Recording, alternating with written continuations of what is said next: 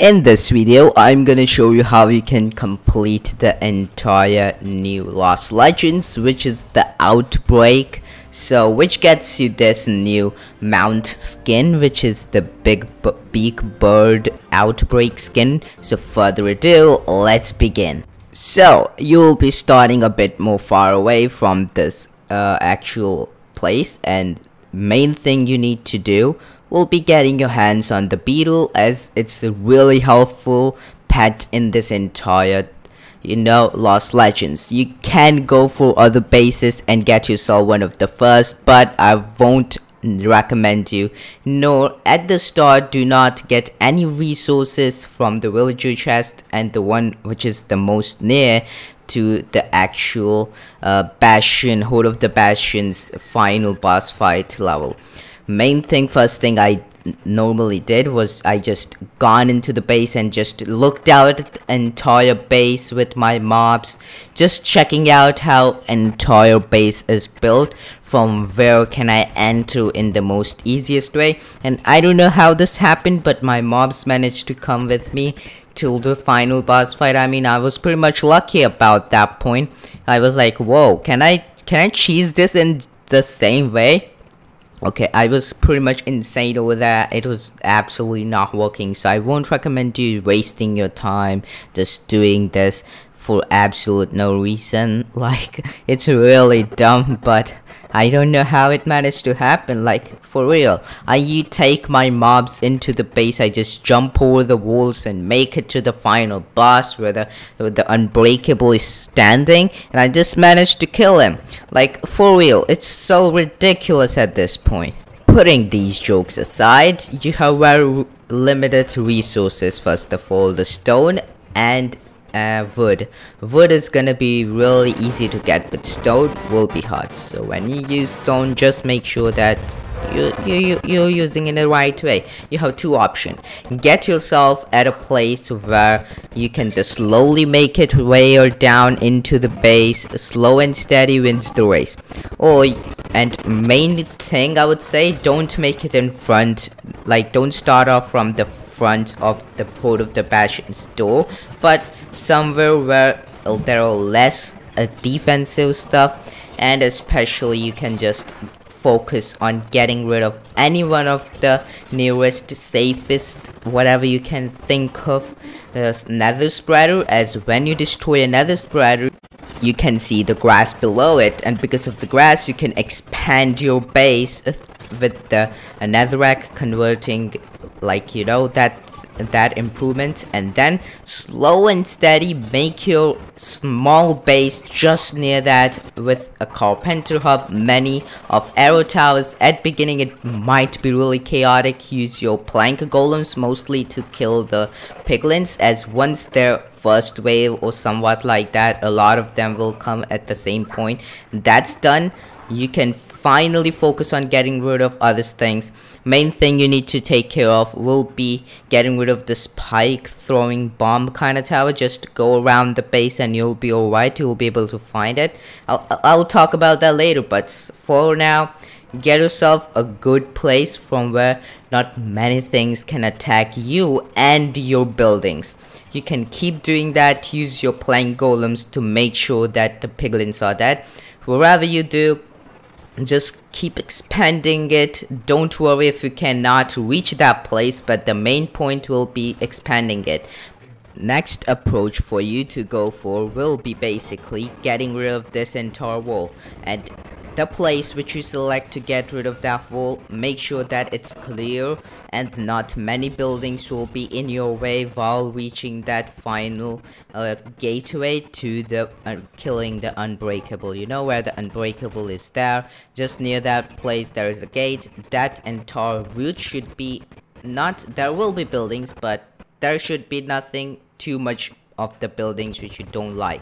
So use your stone golems at that point and make sure that wherever you have made the base below or uh, you know before it there is no piglin pit or anything which can attack you really easily getting rid of the piglin pits will be the main choice of you as it's gonna be really helpful for you to get rid of a lot of annoying things as these waves are just gonna keep coming if you don't get rid of it. And make sure to get rid of this tower. It shoots like spike bombs. I don't know what to call it. I forgot the name but do not build anything around it in the beginning as it's gonna be really more annoying if you do that. So main thing will be getting rid of it if you make it in the start but won't recommend you making your small base kind of place where you can just start off near it anywhere. So then once you make your way into that place you're gonna expand it again. You're gonna start making up buildings. You're gonna do everything you can arrow towers but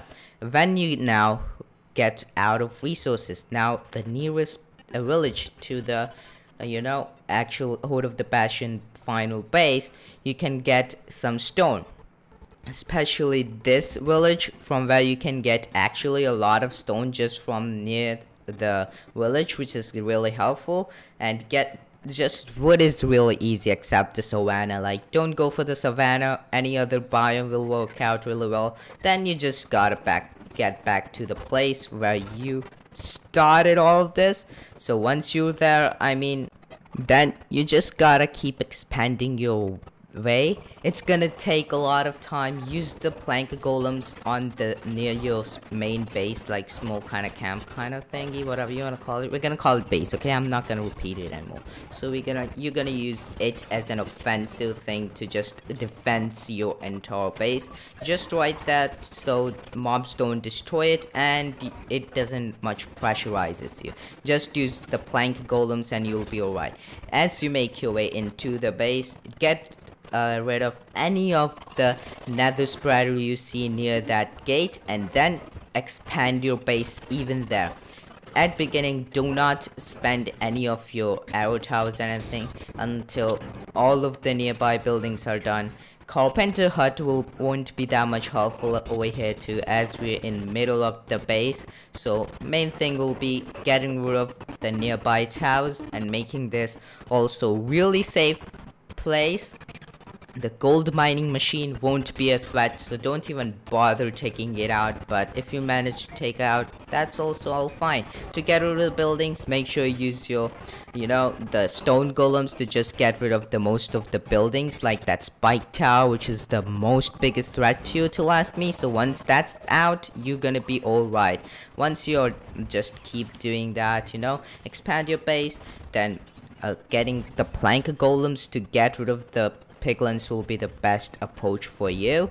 And then get rid of the both of the gates near that place and get into the fight of the unbreakable.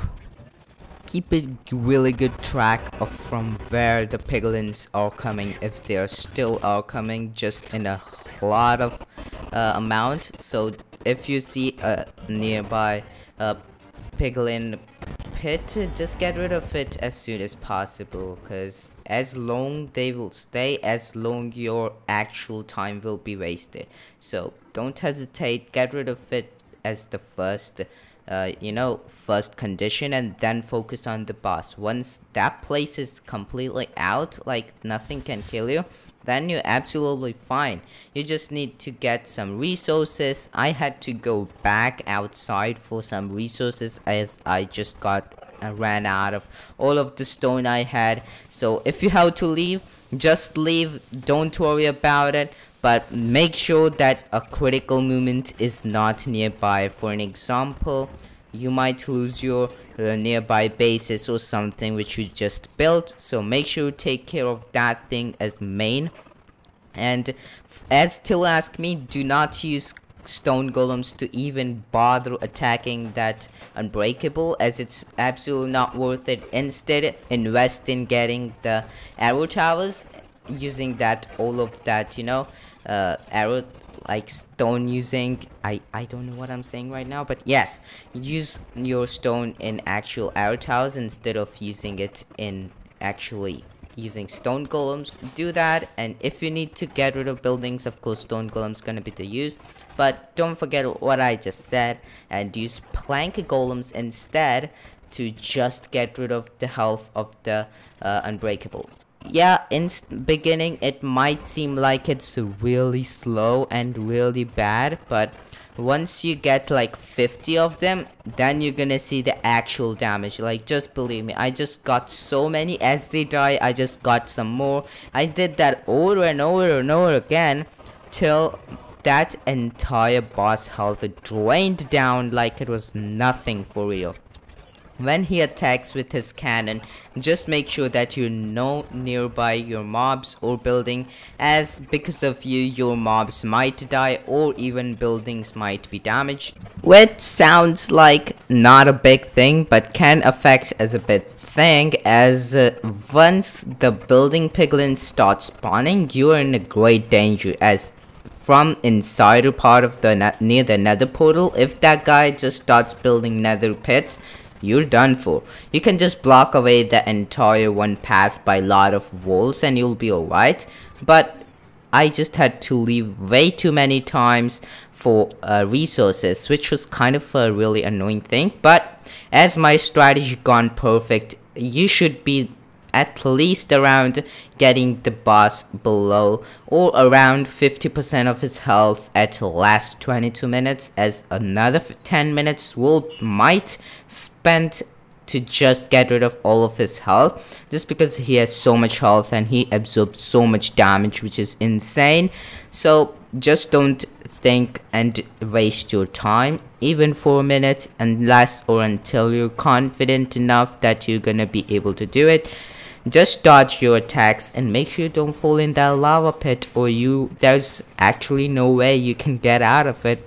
I mean, would be pretty much dumb to do that, but yes, you keep using your plank golems as they gonna deal so much damage in uniting together and fighting as I did that same thing and help them by getting rid of other of, you know, other piglins which are attacking from behind or any other place. I just get rid of them as soon as possible.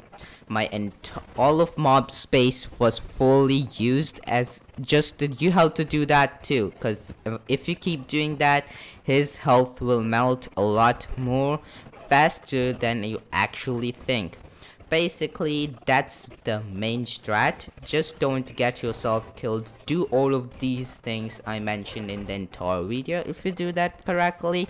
I mean it's gonna be alright. And just like that you'll be defeating the unbreakable one without any huge efforts. I mean, you just gotta take it in a way how you defeat the Horde of the Bastion in the easiest way without any cheeses like skeletons or redstone launcher, anything like that. Without using it, how would you prospectively go for the space and how would you attack it? Even if you think in that way, you can actually clear this entire thing very easily. So that's how you do it and once you do it you need to collect the reward. After doing that you will have the prison break big back and just like that. You just cleared the entire Lost Legends I guess.